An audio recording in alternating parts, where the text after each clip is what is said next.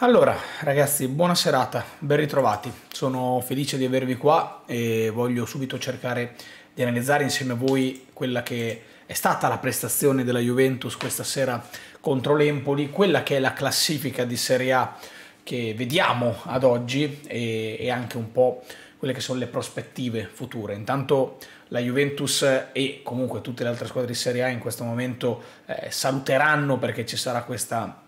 pausa per le nazionali. La Juve giocherà la prossima partita eh, contro la Lazio, ma lo farà sabato 16 settembre, quindi ci sarà da, da, attendere ancora un po' prima di rivedere la Juventus. La Juve che questa sera vince per 2 gol a 0 e si porta al terzo posto in classifica a quota 7 punti, unplane per l'Inter che ha vinto nel pomeriggio 4 a 0 contro la Fiorentina e per il Milan che invece ha giocato e sconfitto la Roma eh, nella serata di venerdì, se ben ricordo, nella serata di venerdì. La Juve, dicevamo, al terzo posto, 7 punti insieme al Lecce e dietro di noi ci sono l'Atalanta, il Napoli e la Sverona 6 e poi tutte le altre squadre che vanno giù dai 4 punti ai 3, bla bla bla. Questo cosa significa? Che è una classifica provvisoria. Certo, guardarla oggi ci, ci dà belle soddisfazioni, ci dà delle belle vibrazioni, però non è una roba definitiva e anzi dobbiamo tenerla monitorata perché può cambiare assolutamente da un momento all'altro, però sicuramente è una bella botta di, di, di, positività guardare la classifica. Però devo dirvi la verità, io credo che la Juve oggi non abbia offerto una grande prestazione. Vi dico subito da quando mi è piaciuta la Juve. La Juventus è iniziata a piacermi da quando c'è stato il cambio eh, in cui sono entrati Cambiaso e Milik. Io da quel momento lì ho visto una Juve più tranquilla, più serena, più alta, che andava a pressare, che voleva cercare anche di dominare la partita con il palleggio, io da quel momento lì ho visto una Juve più consapevole, più sicura dei propri mezzi. Prima di quel momento lì invece ho visto una brutta partita, una brutta prestazione. Mm, dobbiamo ricordarci e dobbiamo sottolinearlo che questa sera giocavamo contro una squadra che è l'unica ancora a zero punti in Serie A, è l'unica ancora con zero gol segnati in Serie A. Quindi stavamo parlando di una squadra che ha tutte le difficoltà del mondo. È una squadra molto giovane, ma la gioventù poco importa perché abbiamo parlato prima del Lecce, Lecce è la squadra più giovane in Serie A, la Juve è una delle squadre più giovani in Serie A, eppure sono lì, quota terzo e quarto posto, terzo posto condiviso, quindi non significa niente, significa che probabilmente l'Empoli ha semplicemente più difficoltà. Io mi aspettavo anche una partita più tranquilla e invece una serie di, di episodi hanno portato a complicarci un pochettino la vita, e cioè il rigore sbagliato da Vlaovic, un paio eh, di gol sbagliati, tra cui quello di Chiesa, un uno contro uno che poteva finire in tutt'altro modo. Ci sono state alcune cose proprio sotto porta che non mi sono piaciute. Però se andiamo semplicemente a guardare quelli che sono i numeri di questa partita, andiamo a vedere eh, un attimino, la Juventus ha avuto un mucchio, perché la Juventus ha avuto veramente un mucchio di palle gol, se andiamo a vedere ci sono stati 18 tiri totali della Juventus, di cui 5 nello specchio della porta, quindi significa che la Juve da questo punto di vista le occasioni da gol le ha create. Infatti credo che la critica questa sera non vada rivolta sotto questo punto di vista perché la Juve ha avuto diverse possibilità, lo dicevamo prima, il rigore sbagliato, alcune occasioni che non sono entrate, due gol annullati, uno a Danilo, uno a Pogba, abbiamo avuto una traversa di Milik, abbiamo avuto un palo di Moise Ken. La cosa che secondo me dobbiamo metterci in testa e sulla quale dobbiamo riflettere prima di tutto è capire come arrivano queste occasioni da gol. Perché la Juve non ha tanto la difficoltà nel crearle contro squadre come questo Empoli che onestamente è davvero la squadra che mi ha convinto di meno di quello che ho visto in Serie A fino adesso, mi sono guardato un botto di partite di Serie A fino a questo momento in ottica Vantecalcio, dato che domani ho la prima asta, quindi contro delle squadre così la Juventus le occasioni le crea, però anche il nostro gol nasce da una mischia in calcio d'angolo, il gol dell'1-0. Sono tutte situazioni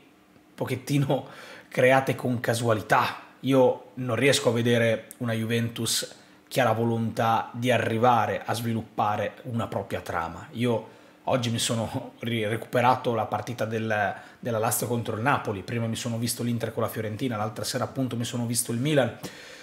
Non è solo un discorso di rose, è un discorso di approccio, di predisposizione, di lavoro. E stiamo parlando di tre squadre che hanno cambiato tanto, perché il Milan ha cambiato tanto, perché il Napoli ha cambiato tanto? Perché la Lazio ha perso tanto e ha sostituito, si è fatta una rosa di un certo tipo, poi in questo momento la Lazio è indietro in classifica d'accordo, però andare al Maradona e vincere non è mai una roba facile. Eh, insomma, tutte squadre che hanno cambiato eppure si vede già qualcosa. Io nella Juve stasera non ho visto quel qualcosa, anzi eh, mi è sembrato di vedere una squadra che poteva trascinarsi la partita verso il classico va a finire che ci fanno un gol di gatta dopo che abbiamo sbagliato diverse occasioni perché non siamo stati bravi a dare continuità. Io se penso alla partita di, di Udine, la prima partita di campionato, i primi 30-35 minuti, la fame, la grinta, la cattiveria, la corsa, il pressing che abbiamo messo in quella partita, e penso alla partita col Bologna, penso alla partita con l'Empoli,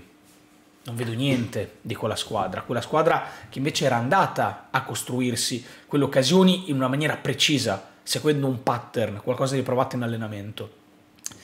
Io vedo anche banalmente il palo di Ken, è una palla lunga, è una palla lunga con Ken che taglia dietro il difensore, il gol di Chiesa è una palla lunga a scavalcare la difesa dell'Empoli. Sono cose che, che certo sono efficaci, funzionano, però sono cose che banalmente sono fine a loro stesse, non, non c'è un'armonia, non c'è un collante. La Juventus anche questa sera ha toccato tantissimo la palla, l'abbiamo detto per tutta la pre-season, l'abbiamo detto all'interno della prima partita con l'Udinese perché dal primo tempo al secondo tempo è cambiato quello, la volontà di portare tante volte il pallone piuttosto che, che giocarselo palla a terra. E poi se andiamo a vedere il possesso, nel primo tempo ragazzi la Juventus aveva giocato il 70% dei palloni all'interno della propria metà campo, aveva giocato 80 palloni, 90 palloni in avanti e oltre 110 all'indietro, quindi proprio un'idea di Juventus un po' meno arrembante rispetto a come dovrebbe essere con l'Empoli. Poi il risultato stasera te lo sei portato a casa, questo credo che eh, negli ultimi 20 minuti non sia poi mai stato in discussione e anzi, ribadisco, se andiamo a prendere il numero delle occasioni da gol, il computo delle occasioni da gol, la vittoria della Juventus è meritatissima, meritatissima perché l'Empoli alla fine non ha mai impensierito Perin, non c'è mai stato un tiro in porta, l'unico vero pericolo creato è quel tiro di destro, eh, di Mattia Destro, che fa scendere la palla e poi calcia in maniera magnifica, ma anche qua senza beccare lo specchio della porta, quindi credo che bene o male la vittoria della Juve non sia mai stata in dubbio con la Juve che comunque ha prodotto una grande occasione, eh, un grande numero di occasioni da gol. Però questo basta per riuscire a tornare a casa dal Castellani di turno, battendo l'Empoli di turno, che è una squadra molto in difficoltà dal punto di vista tecnico e dal punto di vista tattico. Io non sono sereno quando si diceva sì era solo l'Udinese, però con l'Udinese quelle cose le avevamo fatte. Allora stasera era solo l'Empoli però con l'Empoli non ci siamo messi allo stesso livello di approccio. La Juventus è superata la metà campo, non è in grado di gestire il pallone, sono sempre momenti differenti, a meno che non vada sugli esterni con Kostic, perché Kostic è l'unico giocatore che veramente l'anno scorso abbiamo sfruttato come se fosse uno schema, palla Kostic sulla linea e poi mette alla palla in mezzo. Quindi stasera ci portiamo a casa la vittoria, benissimo, meritatissima, secondo me la Juve stasera ha strameritato la vittoria.